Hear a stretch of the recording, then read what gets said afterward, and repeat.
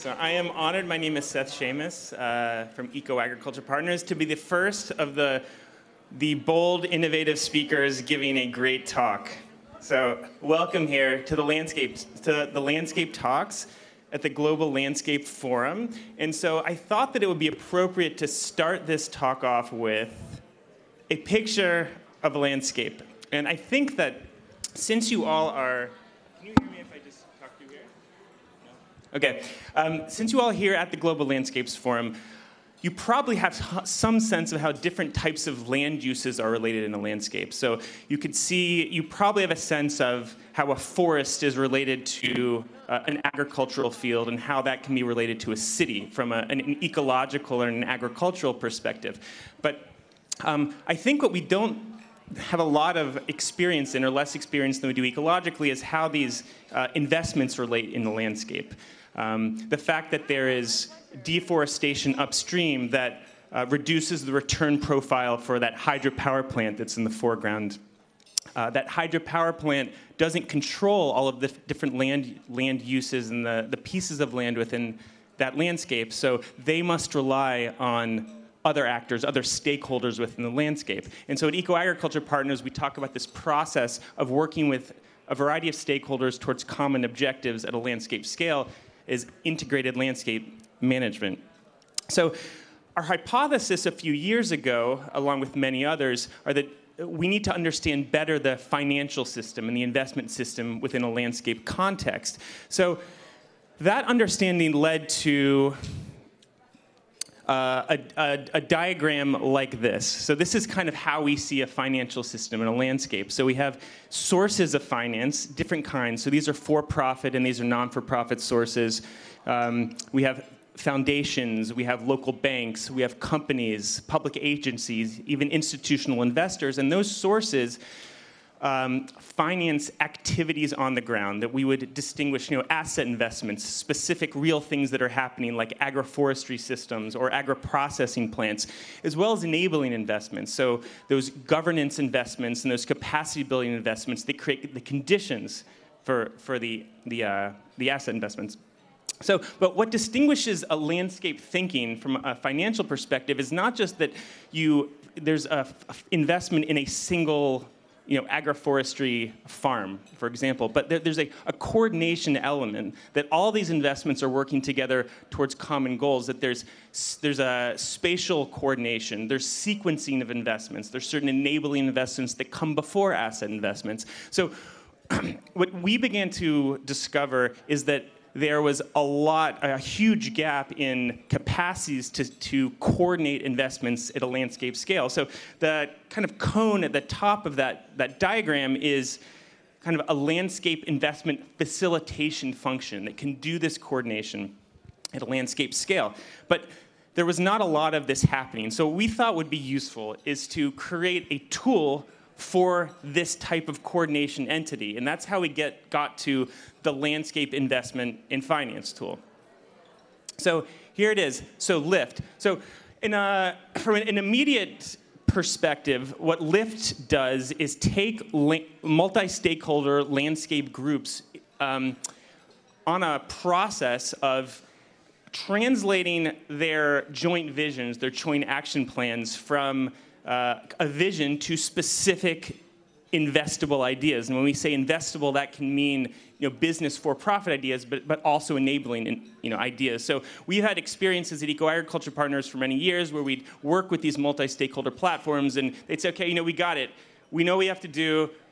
We're going to restore this riparian area, you know? Um, and then you kind of drill down a little bit and say, well, what, what does that mean? You know, who's going to do it? You know, who's going to pay for it?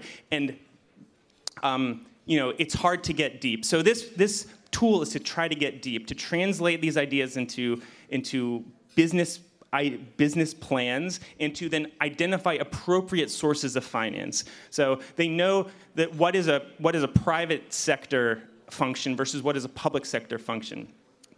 So this is. Um, and by the way, I'll, I'll, tell you what, this is all available now. Um, it's split up, Lift is split up into two documents right now. So there's the primer, which lays out the conceptual foundation for, for uh, integrated landscape investments, which includes answers to questions like what is integrated landscape management? How can you produce financial value from landscape action? What are different ways of blending finance? How can finance be coordinated at a landscape scale? And this material is referred back to throughout the process, the sort of lift process.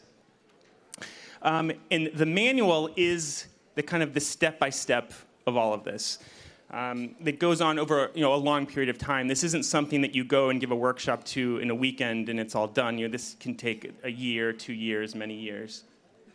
Um, so it's split up into three stages. The first is assessing financing needs of priority investments in the landscape plan, and um, this is essentially the the moment where landscape initiatives clarify their business ideas. And we have a variety of tools and worksheets in that process, you know, agendas for work for workshops to go through that process. This is just an example. Don't try to read this. Some of you may be familiar with the business model canvas. This is something that's you know taught in business schools to um, get people to clarify business ideas, value proposition, costs, benefits. So we've kind of created a version of this that's a bit more landscapey that um, that that entrepreneurs or, or you know, partnerships can fill out as they, they clarify ideas.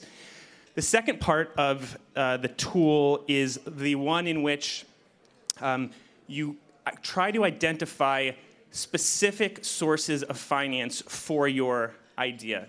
Um, there are a, there's a lot of, of, challenges with you know, financial literacy in the, the, places where we work. People don't know what's available or know kind of what to look for, how to look for it. So this takes them through a process of figuring out what is most appropriate, and then also um, accessing information for you know specific specific investors. So, for example, something we might go through is to figure out, you know, where do you sit, the type of finance you need, um, how, what is the deal size, what is the risk return profile, um, how much time do you need in order for this investment to be paid back? And depending on where you are, you would identify yourself and say, oh, you know what, actually, what I'm looking for is something that is more appropriate for a local bank. Or maybe what I'm looking for is something for Althelia, an impact investor. Um, sort of start there, and then uh, we have mechanisms to kind of access more specific information. Finally, um, um, the initial kind of wave, wave of potential investments that comes through this, this the first use of Lift, um, you know, has these experiences, and there's a process of kind of reporting back, exchanging information, deciding as a group, um, are we going to kind of go our own separate ways with these investments and then try a new wave of investments? Have we come up against barriers that we need to address as a group?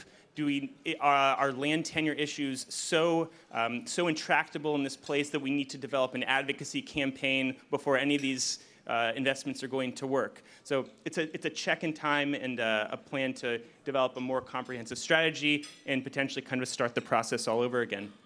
So um, We've tested this now, and I should say also, we, this has been done in, in collaboration with IUCN Netherlands, um, and we've tested this in three landscapes in the Philippines, Honduras, and Tanzania, and there's a plan to roll it out um, in a larger way in eight to 10 landscapes this next year in partnership with IUCN Netherlands. I actually just spoke to a colleague at Conservation International that, that, that, says that they're now using this lift tool, and we have some other partners as well who are very interested. What we'd love to do is create a community of practice around this tool so um, we can all learn from each other over time. So if you're interested in that or learning more, please talk to me. My name is Seth.